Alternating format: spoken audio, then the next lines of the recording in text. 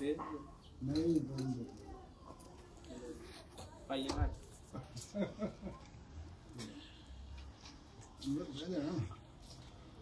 इधर इधर मुंह करी जरा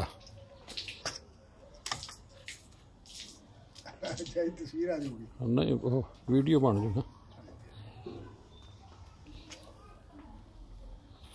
चलो नाले ਬੱਚਿਆਂ ਨੂੰ ਵਿਖਾਉਂਗਾ ਨਾ ਮੈਂ। ਆਹ ਉਹ, ਉਹਨਾਂ ਨੂੰ ਪਾਈ ਇਦਾਂ ਦੀ ਕਹੇ ਸੀ। ਕਿਤੇ ਨਹੀਂ ਸ਼ੈਨ ਵੇਖਣ ਨੂੰ ਮਿਲਦੀ। ਉਹ ਆਹੋ। ਨਾਲੇ ਹੁਣ ਬਾਹਰ ਹੀ ਨਹੀਂ ਨਿਕਲਣ ਦਿੰਦੇ ਬੱਚਿਆਂ ਨੂੰ। ਹਾਲਾਤ ਇਦਾਂ ਦੇ ਹੋ ਗਏ ਆ।